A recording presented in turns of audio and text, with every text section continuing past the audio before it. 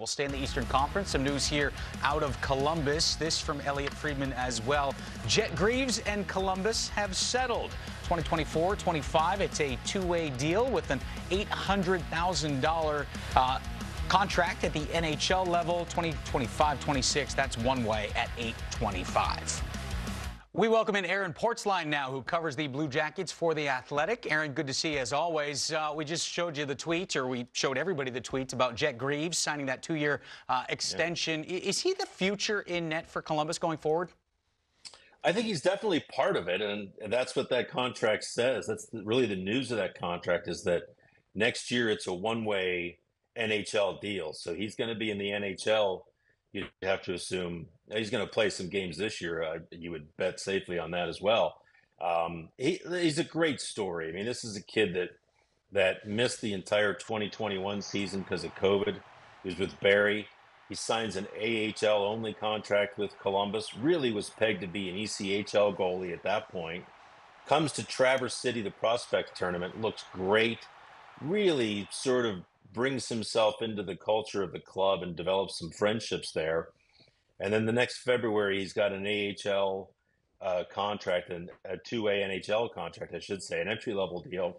Everything they've put before him, he has grabbed. Uh, and he's met the challenge and then some, and just keeps getting better and better. And of course, the pinnacle was this year the AHL playoffs, 928 save percentage. He was a fantastic goaltender on a team that really had a nice run to the Eastern Conference Finals. I think they definitely, if they didn't see him before as an NHL guy, he has played him, himself into that role for sure now. All right, so they've got the goalie of the future. The question is, who's the guy behind the bench right now? We're in mid-July, and the Jackets yes. don't have a head coach. Are they just trying to make sure that you don't get to enjoy some downtime here in the offseason, or is that yeah, going to change quickly? Yeah, maybe they're trying to be creative. Maybe they're going to go without a coach this year and just see what happens. Yeah, They've had a tough it. time behind the bench. Yeah, I mean, this will be their fourth coach in, gosh, I want to say like 16, 18 months, something like that. I mean, it, has been pretty hectic back there. Larsen, Brad Larsen lasted two years, now an assistant in Calgary. Pascal Vincent lasted just the one year. Of course, last summer was the Mike Babcock hiring. He didn't make it even to training camp. Uh, so obviously, this is a team that has to get it right this time. And they are taking their time. As Don Waddell has said, they're the only team looking for a coach. There's not competition for these guys that are out there. Todd McLellan was tops on the list.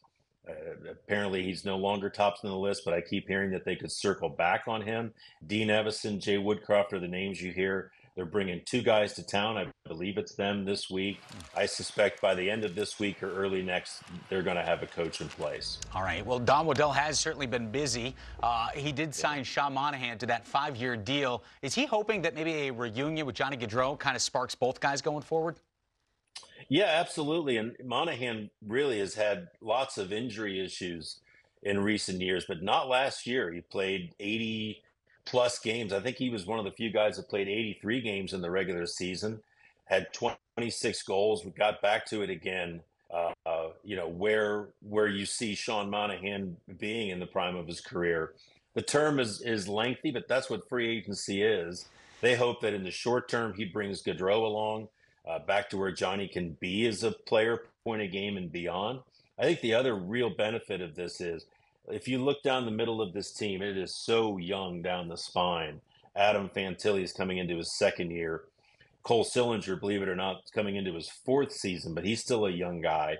They just drafted Cayden Lindstrom, number four overall. And it's not just the centers that Monahan can help with, of course. It's they've got youth all over the lineup. He is he is that guy that's expected to add to the veteran leadership at forward, just as Jack Johnson is on the back end with those young defensemen. They could have Jiricek and Mateychuk here uh, in Columbus this year. That's not out of the question if both of those guys look like they're ready in camp.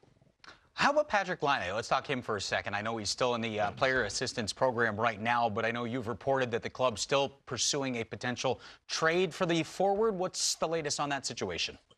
Yeah, well, it's an interesting situation. They could trade him out of the program. Uh, you can still trade a player who is in the program, so that that is on the table. The issue is Patrick Laine played 18 games last year, and I think his his enrollment in the program is also a reason that teams want to talk to him before they trade for him. It's not that they don't trust Don Waddell uh, to give them a fair assessment of where the player is, but Don Waddell doesn't know a fair assessment of where the player is because he hasn't been here. Uh, he was just hired earlier this summer. So these teams want to talk to Laine, and nobody can talk to Laine, including the Blue Jackets, until he's out of the program. So the Blue Jackets are they have to be in a holding pattern. Other teams, according to Don Waddell, teams are still calling about him, so there is still interest in him. Uh, they hope they can make a move that's as close as possible to a hockey trade, but they're waiting for word from his agent or from Laine himself that he's out of the program and is now able to be uh, in communication with teams to, to move toward a trade. All right, interesting. Uh, we'll stay tuned on that. Look, there were a lot of great stories in hockey last year maybe the best involved you, and, and I know you know it was it was a wild year for you, diagnosed with stage five kidney failure, and then a um, a person within the Columbus Blue Jackets organization, Lindy Knoll, uh, came forward yeah. as a kidney donor, and. Um, it sounds like everything's going well for you. She was honored at the NHL Awards. How special was that moment to watch to see oh. her get the recognition that she deserves?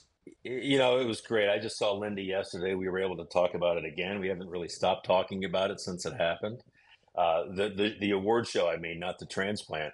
Um, I love that. I, I, couldn't go to the award show because I I'm not I wasn't cleared to travel just yet.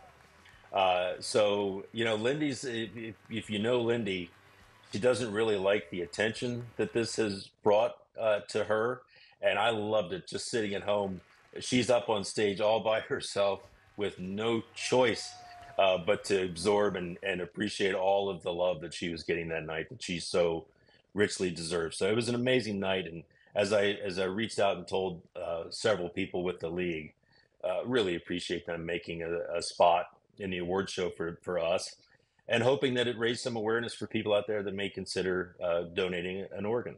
Yeah, she doesn't like the attention, but she certainly deserves every bit of it. Uh, how's your? How are you feeling right now? How's your summer going? Yeah, very well, very well. Uh, everything's tracking in the right direction. Still some limitations, still some stuff to get through.